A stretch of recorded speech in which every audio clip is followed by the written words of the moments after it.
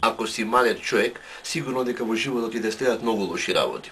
Имаш дипломирано. Одиш на интервју за работа. Таму секогаш има некој паметњаковиќ. А дали имаш диплома или се уште си на факултет? Јас имам дипломирано со просек 9,5 како прв а, во генерацијата. И сега што се дешава во глата. Немој да се фалиш. Биди искрен, немој да се фалиш. Од другата страна, лошото.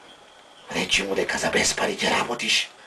Дали имаш дополнителни активности? Кошарка, ракомет, одбојка, физика, Немој да измислуваш, биди искрен. И имам повеќе активности. Со спорт се занимавам, плюс со микробиологија. За автомобилите морам да кажам дека да ме интересирам. Е па тогаш Нас не ни треба такви личности како тебе. Ти реков, ти реков да не се палиш, да не измислуваш работи. А странски јазици знаеш некој? Грчки, албански, германски, рус, француски, а, корејски. Корејски? Ај кажи нешто на корејски.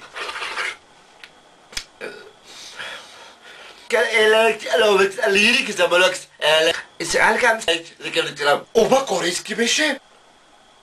Да, корејски беше. Е, не беше. Јас знам корејски. Ти реков да не измислуваш, о ти лажи. Што мислиш? Дали си соодветно облечен за ова интервју? Па добро, окей, можда требаше во костум да бидам. Каде се гледаш по пет години на професионален план? Тука. Тука се гледаш, закопан во град. Толку еден куп кај што имаш. Не, речи дека ќе одиш некаде далеку, дека твојата перспектива е далеку. Па, се гледам, да, пример во Германија. Во Германија? Во Германија? Извинете, ама аков работник нас не ни треба. Пријатно. И се наоѓаш во пичку матер заебана ситуација. И за кој кур да бидам облечен во костум? Се спремаш за излегување. Шал стори колку си грд. Не си грд. Дури мислам дека си малку симпатичен. Влегваш в кафич и одма проценваш.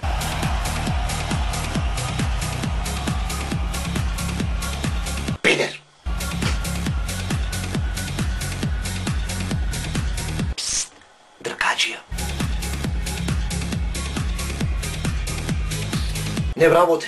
Се вртиш лево десно, гледаш нешто женски ова она и му викаш на другар. Брат, никоја не ми се бендис. Келнер пијачка, келнер, а, келнер пијачка, келнер пијачка, келнер пијачка, келнер пијачка. После неколку испиени чаши, тебе во глад што се дешава. И ти другарка ти, вака изгледаш. Е, кај си бе? Оди, залапаја, глуп. Не, немој да ја залапаш, те молам, немој да ја залапаш. Оди, залапаја, немој да забораш, ти имаш женска. Кааш ти е се у курацу, пичку, матер, ништо не знаеш ни кај те да ше гледаш тука другарка ти, пијачки, фрчат луѓе да ден куп, сите ти се убај, сите ти се не, пичку, матер, брат, не можем поќе. Бе.